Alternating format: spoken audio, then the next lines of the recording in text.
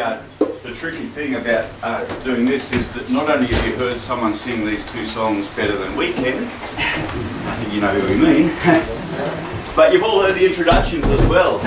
and, if you liked watching John as, as much as we did and, and then therefore got to see him as often as we did, then after a while you, would be listening to John, but you'd also be watching very curiously everyone else in the crowd who might be seeing him for the first time, because that's where a, a, kind of lot of the fun was, you know.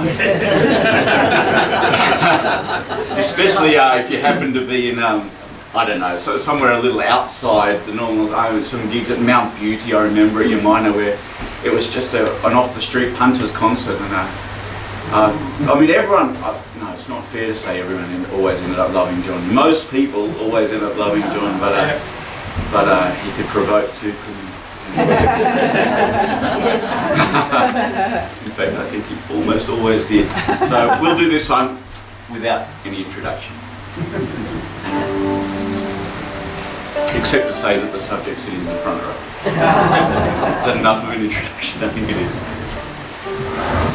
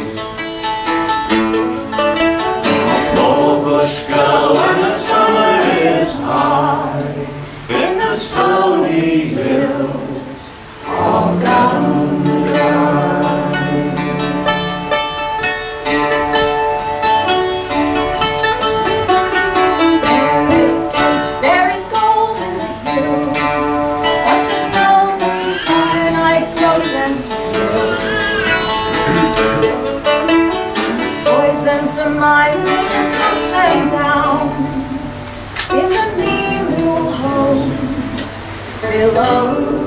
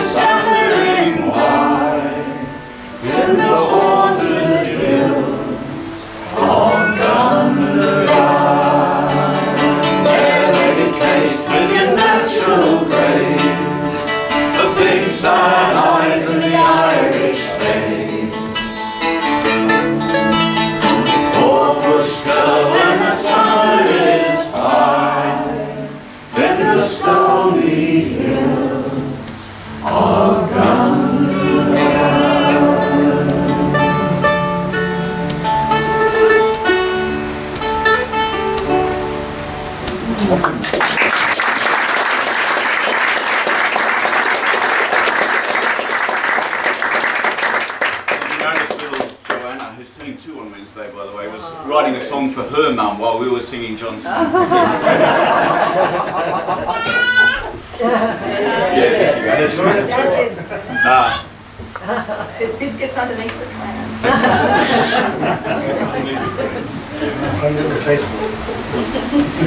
but we first heard John sing in 1997, and uh, it made a pretty clear impression. Was anyone not completely knocked over the first time they heard John sing? I don't really need to say that, do I?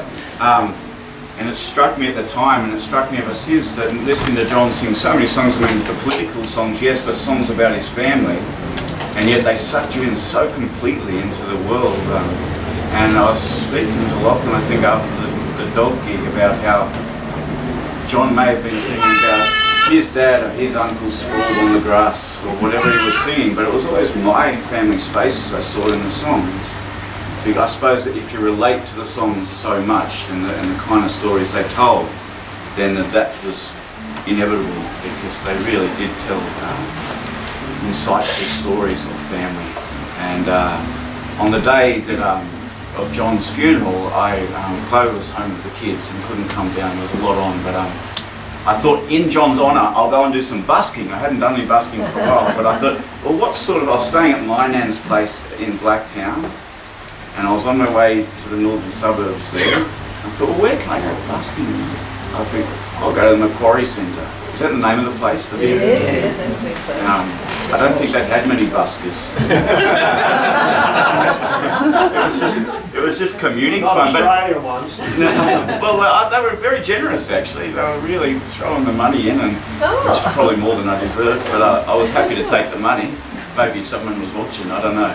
Saying, "Go and give him a go." But uh, as I was busking, my phone rang, and my pop had died.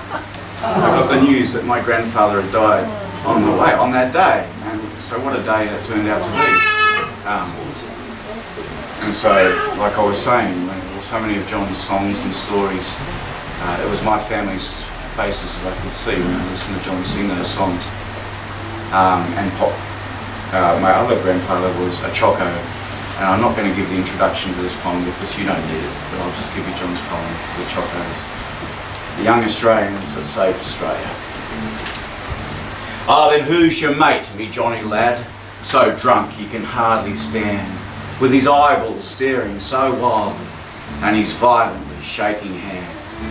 Oh, his name is not for the name, but his story, I'll tell you true, he's a child of the Great Depression, from the lanes of Woolloomooloo. He was reared on bread and dripping, and on dollops of dole plum jam. He dodged the police, and his father's boot, and his fare on the city tram. He mustered with the militia on the wharves of Woolloomooloo. He fought disease and the Japanese in the summer of 42. Oh, never you mind his shaking hand or his strangely twisted mouth. He was cut off at Templeton's Crossing when the Japs came swarming south. He wept and he prayed in the jungle and God to his prayers was deaf. It was Choco, retreat on your bleeding feet. And where was the AIF? You'll find him now in Bell's Hotel or round by the Domain. You'll find him under a Moreton Bay, sleeping it off in the rain. You'll find him wandering William Street without any work to do. He's a child of the Great Depression in the lanes of Woolloomooloo. He's a hollow, dirty derelict, abandoned by the fates. His soul's at Templeton's Crossing with his dead militia mates. White ladies, his mistress. They fornicate and woo, spawning blinder blue in the lanes of Woolloomooloo.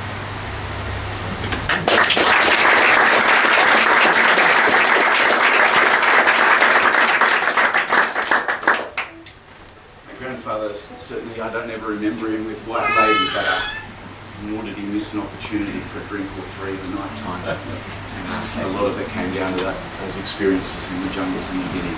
Uh, we've got one more, and I, I said I would um, avoid the introductions that I remember John giving, but I'll hint at this one because it refers to the Bush Music Club.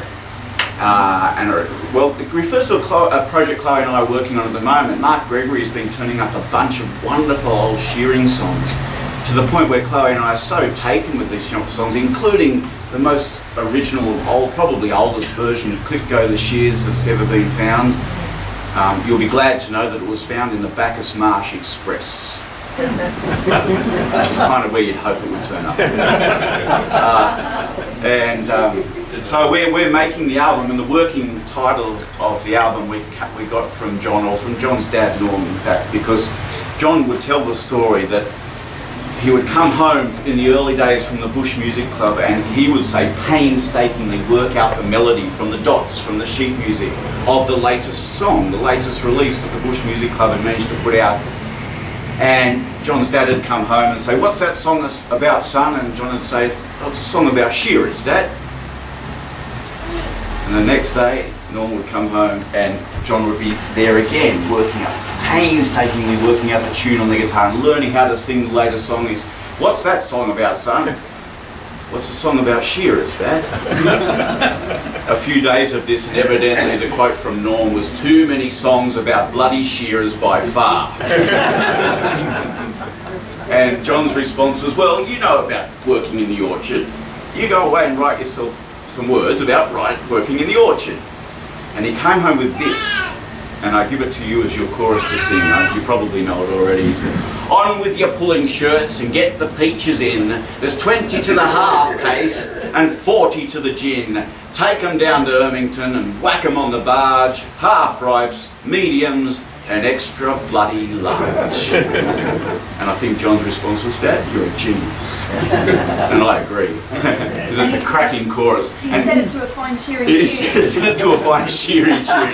Flash Jack from Gundagai. It works pretty well. I just tune that up a little bit. because all good shearing songs and orchard songs deserve to be in tune. Oh, that's nothing. I want to practice the chorus while I shooting Well, no, it. I don't know if it's any, any good looking in my shout. We couldn't find lyrics. Uh, we don't have the chorus. Recorded it. On with your pulling shirts and get the peaches in. There's 20 to the half case, 40 to the gin. Take them down to Ermington and whack them on the barge. Half ripes, mediums, and extra bloody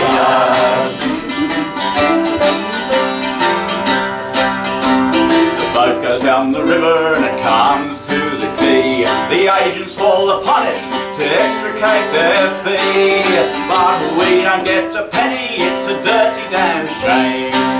Just a bill for dumping charges, orcharding's the game. On with your pulling shirts and get the peaches in.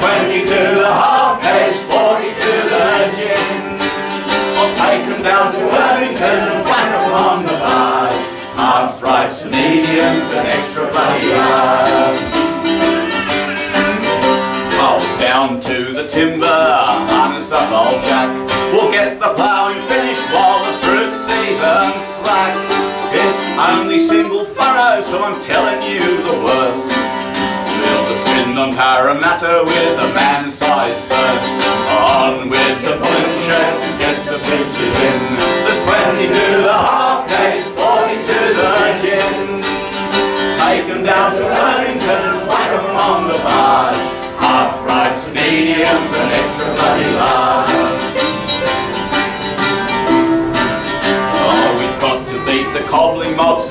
Bag in line. The grog in Parramatta will have to bide its time. Oh, we're trying to scratch a living, we're trying to make a crust from a row of mangy fruit trees that die in the dust. So on with your pulling shirts get the peaches in. There's 20 to the half case, 40 to the gin. Take them down to Ermington and whack them on the barge half rights, mediums, and extra bloody hard. Go on with your pulling shirts and get the peaches in. There's 20 to the half case, 40 to the gin. Or take them down to Ermington and whack